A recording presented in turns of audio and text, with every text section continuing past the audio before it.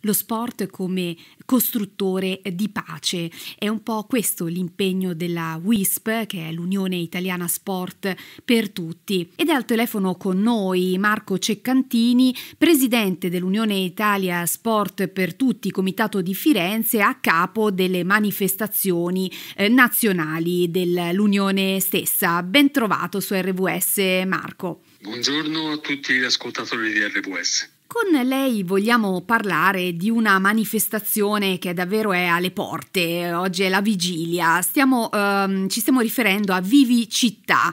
Di cosa si tratta nel dettaglio? Vivi Città giunge alla 37esima edizione, nasce nel 1984 e si è sempre proposta come la corsa della pace, tant'è che si è corso in scenari come dire, di guerra tipo Sarajevo tipo Beirut o Baghdad eh, nel 2000 e quindi mh, si, si, pone come una manifestazione sportiva in favore della pace, cercando di far partecipare tutti e tutti con eh, l'intento di promuovere appunto la pace fra i popoli.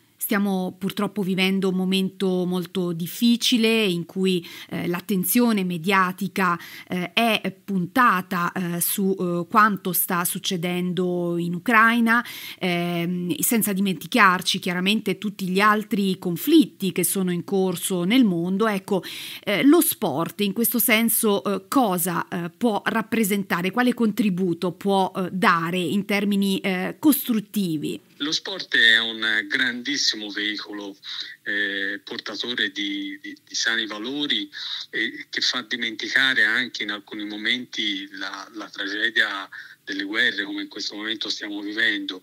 Eh, ricordiamoci che già dall'antica Grecia al momento delle Olimpiadi era il momento in cui fra Sparta e Atene si smettevano le guerre e si partecipava ai Giochi Olimpici.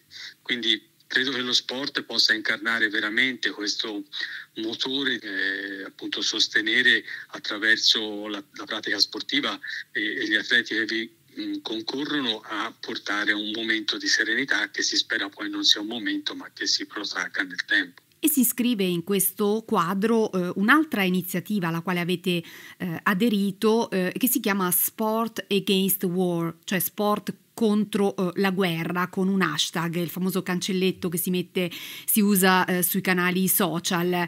Eh, in cosa consiste questo, questo, impegno? Sì, noi ci siamo mobilitati con la campagna Sport Against War eh, che è promossa insieme ad Amnesty International, ad Usigrai, ad Assist, a Sport for Society e eh, si può unirsi al gruppo Facebook eh, che abbiamo lanciato. E, questo è un modo per condividere contenuti che in qualche maniera eh, si mh, fanno promotori di pace. Infatti pensiamo che lo sport di Brase eh, ben si attaglia per lanciare messaggi di pace.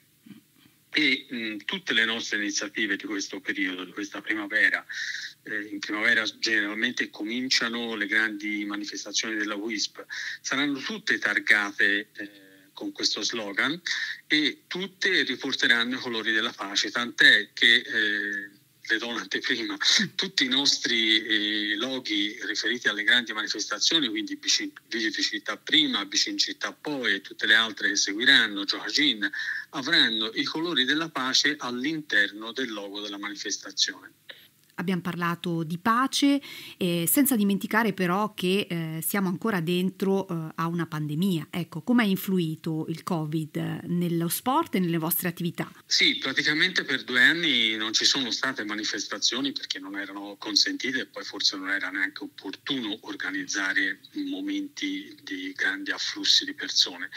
Ma eh, notiamo che c'è una grandissima voglia da parte di tutti i comitati della WISP sparsi per l'Italia e mh, con l'adesione a Vivicittà abbiamo notato proprio questo, c'è una grandissima voglia di ripartire e di voler fare, tant'è che in questo periodo dove ancora non è così semplice organizzare un evento con grandi numeri, ci sono state tantissime adesioni da Aosta fino a a, Trapani eh, tutta l'Italia sarà percorsa dai podisti di Vivicità e in questa 37esima edizione mi piace anche ricordare che eh, oltre a svolgersi in 30 città italiane eh, il 3 aprile, si svolgerà anche a Ginevra, a Parigi, a Saint-Denis, a Bordeaux, a Ivry, a Vitry, a Sarajevo e a Tuzla in Bosnia-Herzegovina.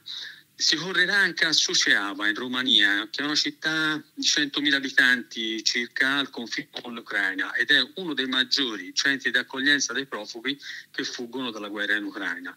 E tra l'altro mh, una delegazione WISP eh, è in partenza per portare aiuti e organizzare la corsa con l'associazione locale e le società sportive del territorio. E rimandiamo allora al sito eh, web wisp.it. Un grazie a Marco Ceccantini per essere stato qui con noi su RVS. Grazie a voi per l'attenzione.